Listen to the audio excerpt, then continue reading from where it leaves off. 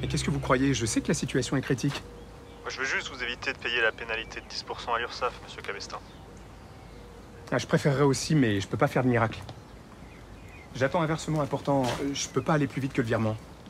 Et par rapport à la trésorerie, vous avez bien pris en compte la TVA à régler? Bah évidemment. Bon, de toute façon, c'est plus qu'une question de jours avant que tout rentre dans l'ordre.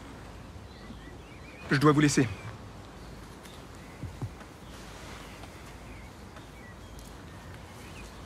Arigato Aishi no Kimiyo. C'était quoi ça? Merci mon amour, en japonais, Hmm, Je vois que t'as trouvé mon petit cadeau. sur l'oreiller. Tu es trop chou. Qu'est-ce que tu fais? Je cherche comment on dit trop chou en japonais. Ça va être dingue ce voyage. J'ai tellement hâte qu'on soit au Japon tous les deux. Surtout en première classe et dans des 5 étoiles. Tu es fou, ça a dû te coûter une fortune. Mais qu'est-ce que tu crois?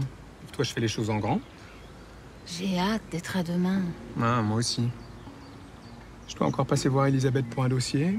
Deux, trois bricoles à finir au bureau et je te quitte plus jusqu'à la cérémonie. Bah alors file. Plus vite tu pars, plus vite tu reviens. Mais doucement. Dis donc. Watashi mo. Ça veut dire moi aussi.